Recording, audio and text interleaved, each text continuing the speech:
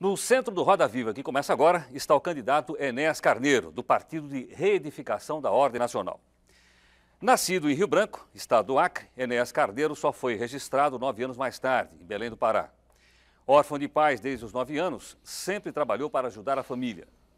Aos 19 anos, mudou-se para o Rio de Janeiro, em busca do sonho de formar-se em medicina. Ingressou então na Escola de Saúde do Exército, onde se graduou terceiro sargento auxiliar de anestesia em 1959. Formou-se em medicina em 1965 e tem mestrado em cardiologia pela Universidade Federal do Rio de Janeiro. É formado também em física e matemática.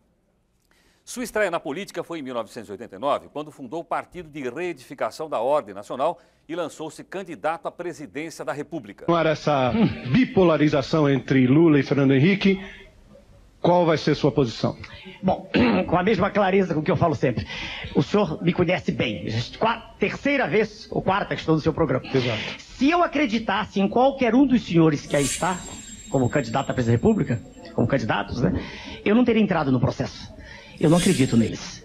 Transparece-me, né? Transparece para mim nas alocuções que eles proferem sempre mentira sempre uma hipocrisia gigantesca. E de modo que eu não, eu estou sendo mais uma vez sincero, se não chegar, não estarei do lado de ninguém. Recolho-me a minha posição de um cidadão comum, de professor de. A minha pergunta é para o candidato Enéas Carneiro. Essa figura exótica que aparece na vida política do país de quatro em quatro anos, como um meteoro eleitoral. Enéas, o senhor tem defendido posições autoritárias como o centralismo e o Estado forte. O senhor tem demonstrado preconceito contra os que não têm diploma, contra os que não têm curso superior, como mostrou no debate passado ao atacar Lula por, por não ter curso superior. O senhor tem defendido posições ultranacionalistas. O senhor grita como um alucinado. Diante disso tudo, eu pergunto: o senhor é fascista? Meu nome é Teodomiro Braga. Peço ao auditório que não se manifeste. Posso começar a responder? Por favor, doutor Enes. Bom, vou marcar o tempo e eu tenho obediência rígida ao tempo. O senhor foi extremamente infeliz. Aliás, isso é próprio do que o senhor escreve. E agora o senhor me permite, eu só falo. Eu ouvi com atenção. Primeiro, eu não ofendi o candidato PT nem tenho nenhum preconceito. Eu tenho um conceito. O problema é de preparo seu para se exprimir. Eu tenho. Um minutinho, por favor. Um minutinho, por favor. Fascista. O senhor não tem direito de me interromper, senão eu paro e me retiro do ambiente. Vamos respeitar não as regras. Há, não há réplica neste momento do debate, meu caro Teodoro. Obedeça a regra como eu também. Isso é disciplina o nome disso. Muito bem. Eu vou obedecer as regras para as quais eu fui convidado. E eu peço que o senhor retire segundos que perdi aqui na discussão. Então, eu não ofendi em nenhum momento. Eu não tenho nenhuma forma de preconceito. Nenhuma forma. Eu tenho um conceito estabelecido. Para se dirigir um país, para se ter sob o seu comando a direção de uma nação continental como o Brasil, é fundamental que se tenha preparo. Não há nenhum preconceito quanto a isso. E o senhor candidato aqui presente, que poderá à frente defender-se, não detém escolaridade, e eu disse isso a ele, com respeito, não, não o ataquei, não detém o volume de informações, o acervo de informações que é necessário para conduzir os destinos da nação. Foi isso que eu disse. O segundo ponto agora, isso eu estarei disposto aqui, se houver condição de discutir com ele, em questão aberta. Agora, o outro ponto, o senhor diz que eu sou autoritário. Eu detesto esta situação em que a nação brasileira se encontra, de absoluta desordem, em que não se respeita a coisa nenhuma, em que os senhores da imprensa têm o poder total, como o senhor acabou de mostrar agora me interrompendo, em que os valores cívicos estão sendo todos lançados no ralo, em que não há mais na nação nenhum sentimento de respeito à família, porque no horário nobre passam-se cenas de lascívia, de sexo quase explícito, com a conivência dos diretores, e ninguém se preocupa em perguntar para um pai de família se ele gosta disso. Isso é liberdade absoluta. Então é contra tudo isso que eu ponho o meu discurso, a minha alocução. Quando o senhor me ofendeu agora, o senhor disse que eu, eu sou exótico, se eu tenho barba é um problema meu. O senhor não tem nada a ver com isso. A sua visão de exótico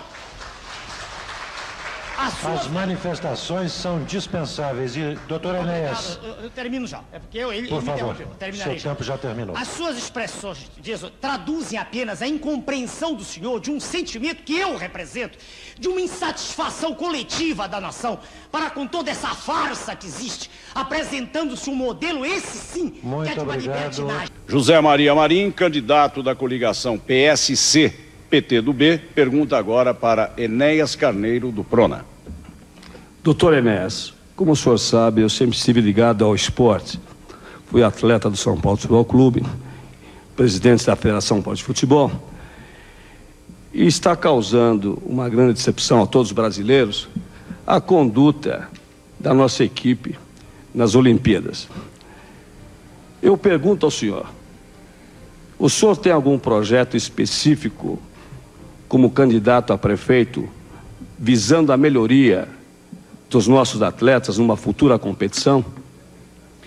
É resposta ao governador Marim, resposta sincera, como eu sempre dou. Eu não entendo absolutamente nada de futebol.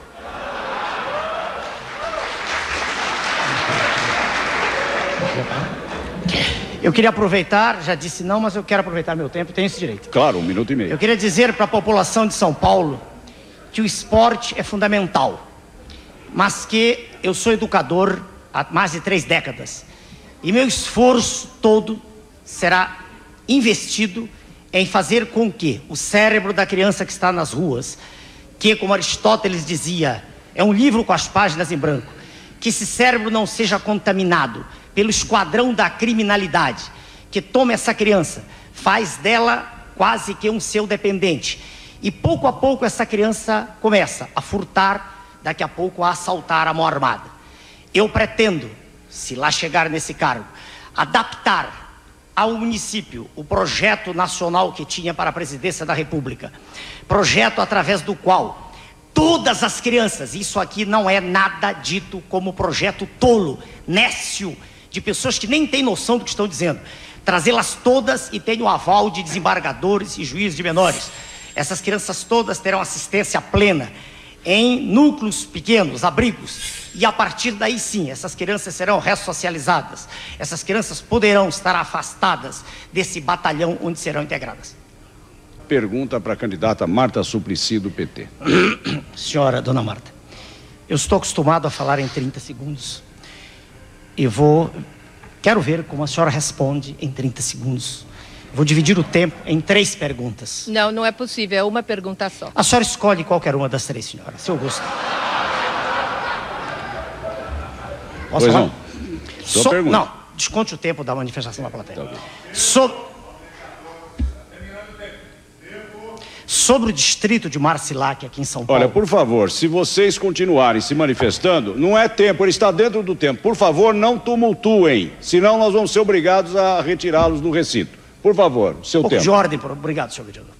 Sobre o distrito de Marcilac, aqui em São Paulo, eu quero que a senhora me responda qual o maior problema do ponto de vista de índices de bem-estar social, do seu ponto de vista, como resolvê-lo.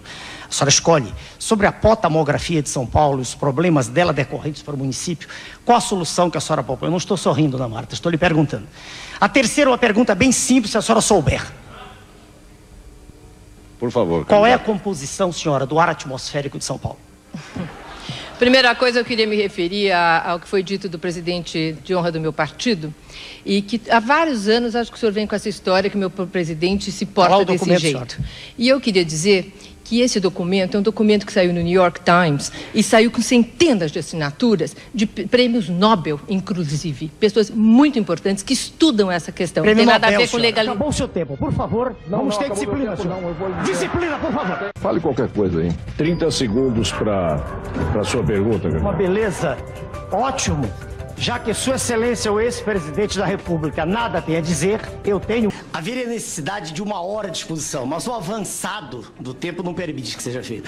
E o mínimo de atenção e respeito pela paciência de todos que assistem aos pronunciamentos. É, primeiro, dizer que poderia parecer despiciendas quaisquer considerações sobre o partido. Senhor? Não entendi. Mas diante da verve literária de Vossa Excelência e de tantos que me antecederam, eu tenho o direito de usar de um vernáculo escorreito também. e o serviço da dívida, isso é apenas o serviço, cada vez maior e a dívida continua crescendo. É uma ironia curiosa. Quanto mais se paga, mais se deve.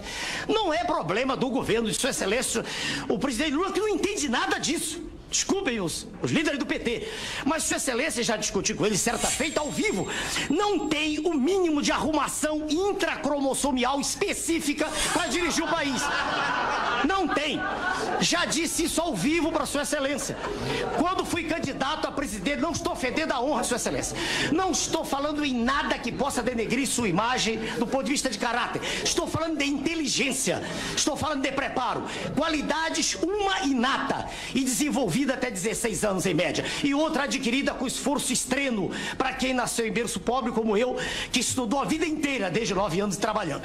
Não há desculpa, como já disse o senador da República, para que Sua Excelência continue sem entender coisa alguma do que diz, falando a linguagem a mais tacanha possível, usando inclusive de expressões que representam assim quase que uma expressão, quase que a maneira de se exprimir tosca de um homem do campo, o que não condiz com a posição de quem está no ponto mais alto da nação. Isso é uma demonstração